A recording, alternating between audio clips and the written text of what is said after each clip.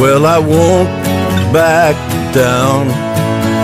No, I won't back down. You can stand me up at the gates of hell, but I won't back down. Gonna stand my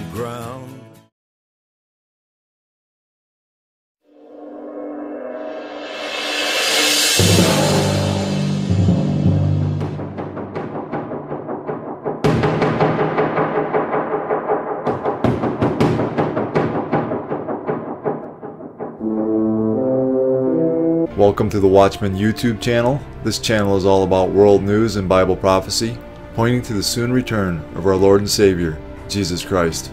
Jesus said, as a sign of his coming and the end of the age, there would be an increase in deception, false Christs who will deceive many, wars and rumors of wars, nation against nation and kingdom against kingdom, famines, pestilences, earthquakes, Christian persecution, apostasy, false prophets, and lawlessness causing the love of many to grow cold. Jesus said all of these signs would come like birth pains. Jesus was likening last days events to a woman in labor. As the labor progresses, the pains increase in both frequency and intensity until the baby finally comes. As we get closer to Jesus' return, all the signs he gave us as a sign of his coming and the end of the age will become more frequent and more intense. All of these signs are manifesting around the world in our time. In the last days, the Bible tells us that Jerusalem will be a cup of drunkenness to the surrounding nations, as we read in Zechariah 12:2. Behold, I will make Jerusalem a cup of drunkenness to all the surrounding peoples when they lay siege against Judah and Jerusalem. The idea of a cup of drunkenness is to cause the neighboring nations to reel, to go mad, and to lose the capacity for sound reasoning, leading those nations to judgment. This prophecy is unfolding right before our very eyes. These are Hezbollah operatives making their way through an attack tunnel that ends inside Israel. The IDF distributed the footage showing the men approaching a hidden IDF camera, an explosion, and the men running away. These cross border terror tunnels were built by Hezbollah with uh, direct support and funding from Iran. Uh, they were built with one purpose in mind to attack and murder innocent Israeli men, women, and children. This is a grave violation of Israel's sovereignty. According to the IDF, this tunnel begins in the Lebanese village of Kfar Hila. It's about 650 feet long, including about 120 feet inside Israel, and is about 80 feet deep. This IDF graphic shows how the tunnel crosses the border. Israel announced it had begun what it's calling Operation Northern Shield on Tuesday and went into action to expose the tunnels along its northern border. This footage shows how close the Lebanese population lives to the border and just how well they can see what's going on inside Israel. On the Israeli side, agricultural fields and orchards flank the border. Israeli Prime Minister Benjamin Netanyahu said he had a message for the people of Lebanon. Hezbollah is putting your lives in danger. They are sacrificing your well being to serve the aggressive purposes of Iran. Israel holds the Lebanese government accountable for all terror activity emanating from Lebanon against Israel. Since the end of the Second Lebanon War in 2006, UN Resolution 1701 required UN forces to essentially maintain a Hezbollah free zone next to the border. But Israel's ambassador to the UN, Danny Danon, said the UN's forces in Lebanon aren't doing the job. This is a clear violation and willful disregard of UN Security Council Resolution 1701. UNIFIL's mission is to prevent the buildup of arms and military infrastructure in southern Lebanon. Clearly, it is not doing enough. Danon called on the UN to condemn Hezbollah's actions. Israel has no interest in escalation, but we will do whatever it takes to defend our sovereignty and our citizens. The Security Council must condemn this terrorist threat. So far, Hezbollah hasn't responded to the Israeli operation. In the meantime, Israel is continuing to expose and destroy the tunnels in an operation expected to last a few weeks. God gives a dire warning for the nations that come against Jerusalem as we read in Zechariah 12:3. And it shall happen in that day that I will make Jerusalem a very heavy stone for all peoples. All who would heave it away will surely be cut in pieces, though all nations of the earth are gathered against it. On Israel's northern border, a tense standoff with Lebanon's entrenched militant group and Iranian proxy army, Hezbollah. Both militia and political party Hezbollah has threatened Israel for more than 30 years. The armed group sprang up in 1985 during the First Lebanon War and was the direct cause of the second. Military planners and analysts say Hezbollah has only gotten more powerful in the 12 years since then, gaining hard combat experience in Syria's civil war. Today, Hezbollah is the second in power army uh, of uh, the area. They are very, very powerful, more powerful than the Jordanian army, for instance.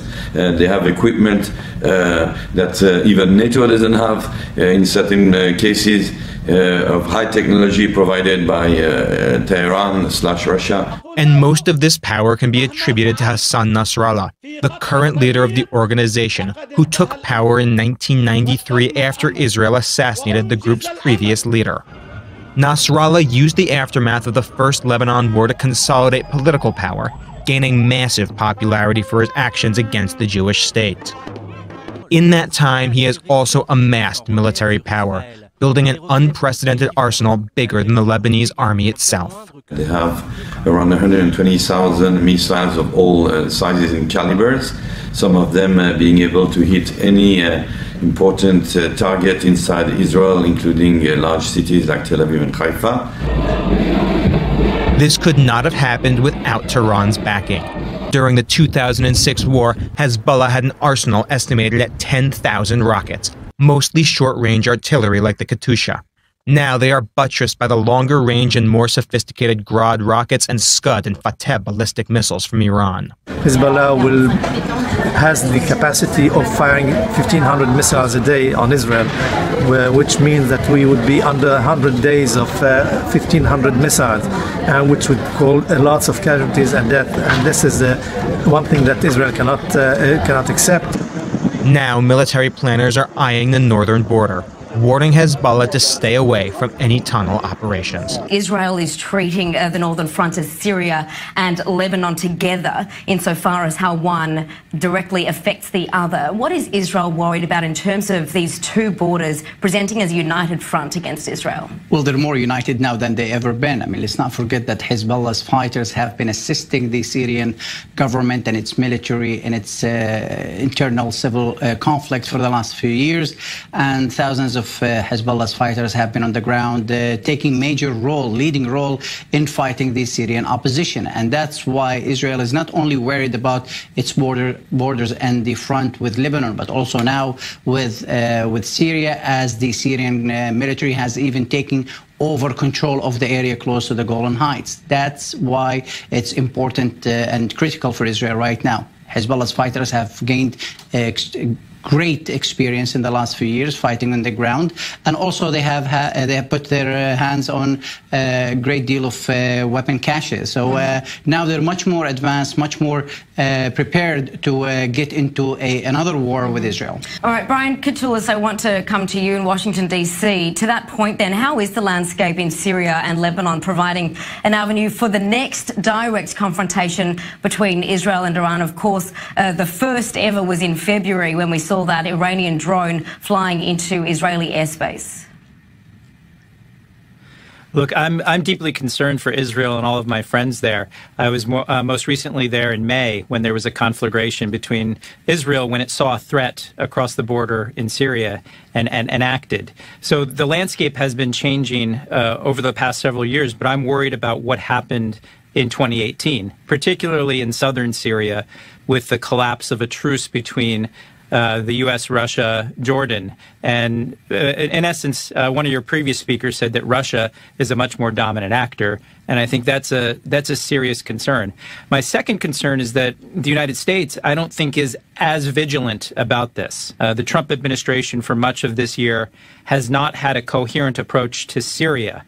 Uh, I would say it's been one of passive appeasement of Iran and of Russia in Syria. And that is a threat to, to Israel. So I think we need to stand with our uh, friends in Israel and do more to actually help them address these threats. And I'm, I'm, glad to see the actions that were that were taken today. Okay, well, in fact, last uh, Friday, Hezbollah issued a warning of its own in a video to Israel with the message, attack and you'll regret it. Now, Mohammed, we're hearing a lot more from uh, defence analysts about the growing confidence of Hezbollah. What, uh, I suppose, what other evidence do we have of that? We have a number of them. I think uh, this highly uh, produced, uh, you know, video shows that this is part of the war between Hezbollah and Israel, just similar to what we've seen between Hamas and Israel. This is part of the psychological war. Uh, Hezbollah has been able to obtain a number uh, of uh, high, very sophisticated weapons from uh, from Iran, and also the training that they got the, their fighters from fighting alongside the Iranian fighters in Syria and the Israel and the Syrian military in Syria. In the last couple of weeks, we've heard just last week of an allegedly an Iranian plane landing in Beirut, the capital of mm. Lebanon, with mm -hmm. highly sophisticated weapons on it. And uh, Hassan Nasrallah, the leader of uh, of Hezbollah's uh, uh you know party, has been uh, very open about saying that they they have in their position uh, more than 100,000 missiles that could reach even deeper into Israel than we have seen in the last war between Hezbollah and Israel. And because of this kind of confidence, that we we don't know for a fact if that's the case, but this is part of the psychological war mm-hmm. that both sides are using to intimidate each other. But there is no doubt that Hezbollah in the last few years, even though they've lost some of their fighters in Syria, they, they, they gained tremendous expertise uh, from fighting on the ground there, but also gained a lot of weapons, which could really uh, tip the balance even slightly uh, in, the, in the next war. I think the U.S. is still committed uh, to Israel's security and also is committed to the situation in Syria, even though at the beginning, yes, it wasn't a clear uh, strategy for the U.S. and President Trump's, uh, you know, vision of how to uh, go about things in Syria. Right now, we're seeing the U.S.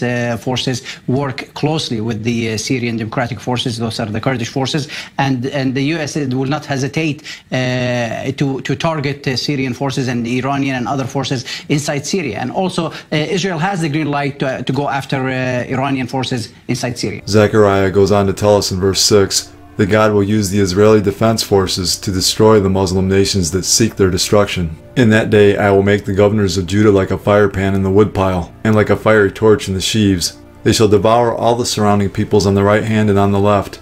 But Jerusalem shall be inhabited again in her own place, Jerusalem. As we continue to watch the Muslim world unite against Israel, the Bible tells us there are four possible prophecies on the verge of finding fulfillment. Isaiah 17:1, in which Damascus, Syria will be destroyed in a single night. Jeremiah 49, the prophecy of Elam, which could infer an Israeli attack upon Iran's nuclear program. Psalm 83, in which the Muslim nations that border Israel will mount an attack on Israel in order to cut them off from being a nation. Ezekiel 38 and 39, known as the War of Gog and Magog. In this prophecy, a coalition of nations led by Russia, Iran, and Turkey will attack Israel in the last days in order to take Israel's wealth. Isaiah 17 1 and 14. The burden against Damascus. Behold, Damascus will cease from being a city, and it will be a ruinous heap. Then behold, at eventide trouble, and before the morning he is no more. This is the portion of those who plunder us, and the lot of those who rob us. Isaiah 17 9. In that day his strong cities will be as a forsaken bow, and an uppermost branch, which they left because of the children of Israel and there will be desolation. Isaiah 17, 1 and 14 tell us Damascus will be destroyed in a single night. Verse 9 suggests it is the children of Israel who caused this desolation, possibly with a nuclear weapon. A long forgotten prophecy that has recently been rediscovered by Bill Salus may enlighten us about the fate of Iran's current nuclear aspirations as we read in Jeremiah 49, 34 through 39. The word of the Lord that came to Jeremiah the prophet against Elam in the beginning of the reign of Zedekiah, king of Judah, saying, Thus says the Lord of hosts, Behold, I will break the bow of Elam, the foremost of their might. In this prophecy, Jeremiah predicts that Iran will suffer the fate of a broken bow, which might imply that the Iranian Revolutionary Guard Corps will be unable to launch scores of its missiles at its enemies. Additionally, he declares that Iran will be struck at the foremost place of its might, which today could infer an attack upon its nuclear program. One of Iran's most strategic and vulnerable nuclear targets is the Bushehr nuclear reactor, located in the heart of ancient Elam. Jeremiah continues in verses 36 and 37. Against Elam I will bring the four winds from the four quarters of heaven, and scatter them toward all those winds. There shall be no nations where the outcasts of Elam will not go. For I will cause Elam to be dismayed before their enemies, and before those who seek their life. I will bring disaster upon them, my fierce anger, says the Lord, and I will send the sword after them, until I have consumed them. Jeremiah informs that the attack upon the ancient territory of Elam will produce numerous refugees, perhaps even turning into a humanitarian crisis. Exiles will be dispersed worldwide as if being blown about by overpowering winds. In addition to the Lord, Iran has enemies in this prophecy. Israel seeks to prevent Iran from becoming a nuclear nation. Additionally, Jeremiah says that Iran has fiercely angered the Lord, and that provokes the Lord to cause a severe disaster inside of Iran. Perhaps this alludes to a nuclear disaster caused from a strike upon Iran's Bushehr nuclear reactor. Jeremiah's last two verses present the exiles of Jeremiah 49:36 with great news. I will set my throne in Elam, and will destroy from there the king and the princes, says the Lord. But it shall come to pass in the latter days, I will bring back the captives of Elam, says the Lord. Iranians who accept Christ in advance of his second coming will be returned from global exile into the restored fortunes of their historic homeland in Elam. Moreover, Jerusalem and Elam are the only two earthly locations identified in Scripture for the future establishment of the Lord's throne. As we get closer to the rapture, the tribulation, and the second coming of Jesus Christ, the Holy Spirit will reveal to students of Bible prophecy the relevance of additional overlooked prophecies concerning the end times. Is the prophecy of Elam one of those prophecies? There's a prophecy written by Asaph the seer that many end time teachers believe has yet to find fulfillment. In this prophecy, a confederation of Muslim nations have taken crafty counsel against the Jewish people in Israel in order to destroy them, as we read in Psalm 83 1 through 8. Do not keep silent, O God.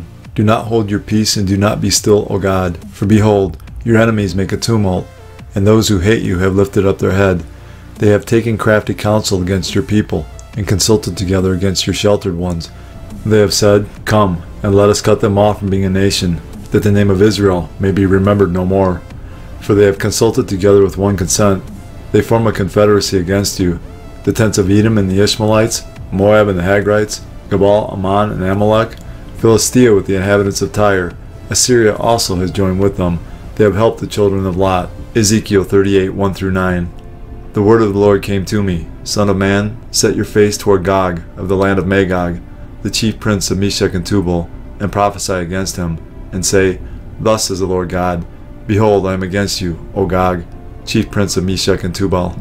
And I will turn you about, and put hooks into your jaws, and I will bring you out, and all your army, horses and horsemen, all of them clothed in full armor, a great host, all of them with buckler and shield, wielding swords. Persia, Cush, and Put are with them, all of them with shield and helmet. Gomer and all his hordes, Beth Garma from the uttermost parts of the north with all his hordes. Many peoples are with you. Be ready and keep ready, you and all your hosts that are assembled about you, and be a guard for them. After many days you will be mustered. In the latter years you will go against the land that is restored from war, the land whose people were gathered from many peoples upon the mountains of Israel, which had been a continual waste. Its people were brought out from the peoples and now dwell securely, all of them. You will advance, coming on like a storm. You will be like a cloud covering the land, you and all your hordes, and many peoples with you. These are the modern day nations listed in Ezekiel 38 and 39 who will be mustered in the latter years to attack Israel Russia, Iran, Turkey, Libya, Sudan, and Ethiopia. As we can see by recent events, Stage setting for the War of Gog and Magog is taking place as Russia and Iran are looking to take over Syria, thus putting them at the doorstep of Israel's border. God tells us exactly what will happen to Iran, Russia, Turkey, and the many peoples with you when they attack Israel in Ezekiel 38, 18 through 23, and 39 2, 7 and 8. And it will come to pass at the same time when God comes against the land of Israel, says the Lord God that my fury will show in my face. For in my jealousy and in the fire of my wrath I have spoken. Surely in that day there shall be a great earthquake in the land of Israel, so that the fish of the sea, the birds of the heavens, the beasts of the field, all creeping things that creep on the earth, and all men who are on the face of the earth shall shake at my presence. The mountains shall be thrown down, the steep places shall fall, and every wall shall fall to the ground. I will call for a sword against Gog throughout all my mountains, says the Lord God. Every man's sword will be against his brother, and I will bring him into judgment with pestilence and bloodshed. I will rain down on him. on his troops and on the many peoples who are with him, flooding rain, great hailstones, fire, and brimstone. Thus I will magnify myself and sanctify myself, and I will be known in the eyes of many nations. Then they shall know that I am the Lord. And I will turn thee back, and leave but the sixth part of thee, and will cause thee to come up from the north parts, and will bring thee upon the mountains of Israel. So I will make my holy name known in the midst of my people Israel, and I will not let them profane my holy name any more. Then the nations shall know that I am the Lord, the Holy One in Israel. Surely it is coming, and it shall be done, says the Lord God. This is the day of which I have spoken. I've been informed by top ranking military officials that Israel has been unable to launch even a single plane in defense. As I stand here, fighter planes are exploding in midair. They're crashing and falling to the ground without any explanation. And while no one can seem to give me any reason for why this is happening, I can tell you this. This all out, unprecedented attempt to destroy Israel appears to be failing. God is the one who fights this battle for Israel. He does it for two reasons. To make his holy name known in the midst of his people Israel, that the nations shall know that he is the Lord, the Holy One in Israel. Zechariah 2 8 and 9. For thus says the Lord of hosts, He sent me after glory to the nations which plunder you. For he who touches you touches the apple of his eye. For surely I will shake my hand against them, and they shall become spoil for their servants then you will know that the Lord of hosts has sent me. Israel is precious to Almighty God, the apple of his eye. He is simply saying, You touch my chosen nation Israel, you poke me in the eye. One day, Jesus is coming. You may be at church, you may be at work, you may be asleep. God grant that you will be ready when he makes his personal appearance.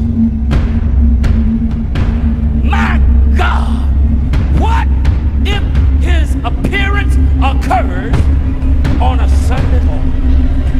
Prophetic word to you this morning is get ready, get ready.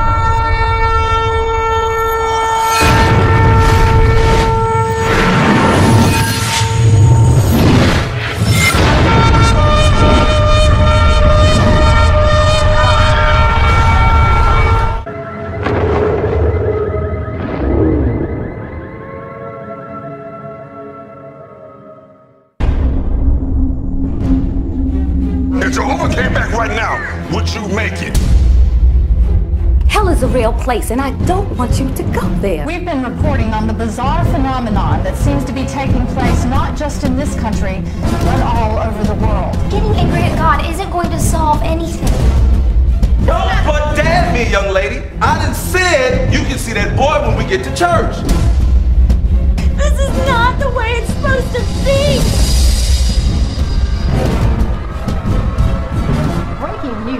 There appears to be a rash of catastrophic incidents taking place across the state. Lord, have we not prophesied in thy name? And in thy name have cast out devils? And in thy name done many wonderful works? And then Jesus said, I will profess unto them, I never knew you. Esta ha sido una mañana muy espantosa de un catástrofe después del otro. Depart from me, ye that work iniquity. So robes and positions and titles and classifications and auxiliaries and departments and works and paying your tithe and paying your dues will not save you. We are still experiencing the aftershocks of the massive earthquake that have devastated this entire region. But if you want to be raptured, you must be born again. Citizen also in South Korea work here one moment and go in the next. You must be washed in the blood of the Lamb.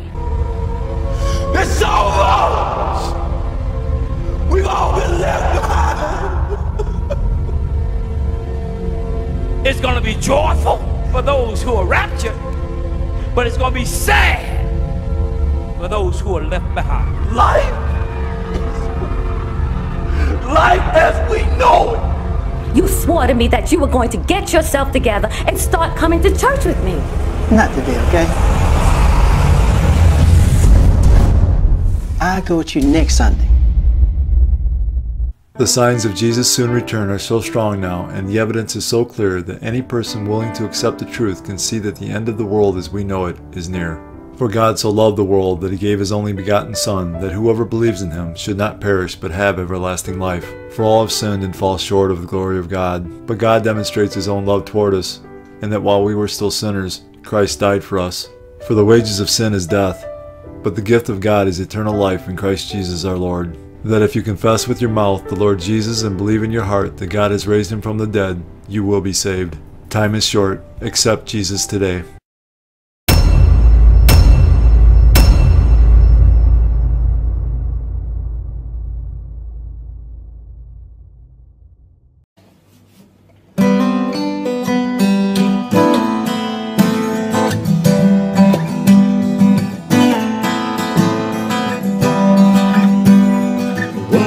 Watched as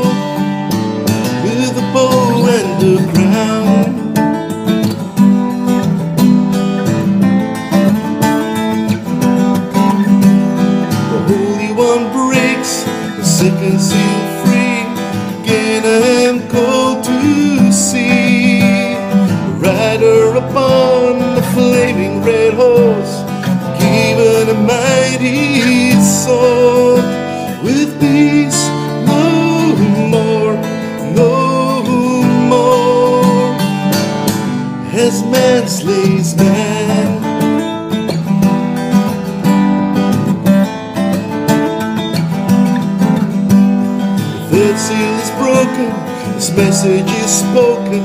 Open your eyes and see. Black horse and rider, scale hold beside him. Measure out barley and wheat. To oil and wine,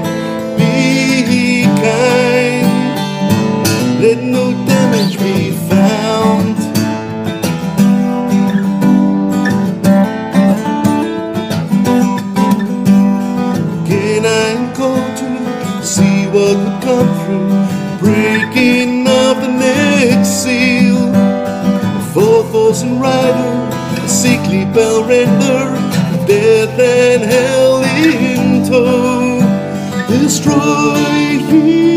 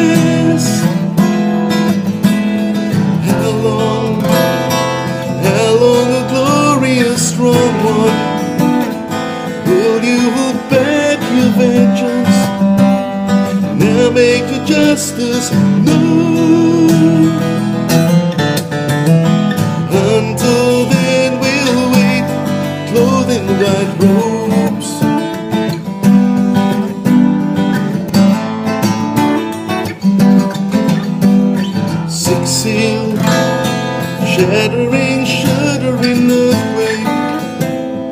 Mountains and islands are displaced. The sky rolling back like a scroll. Heavens, stars bound in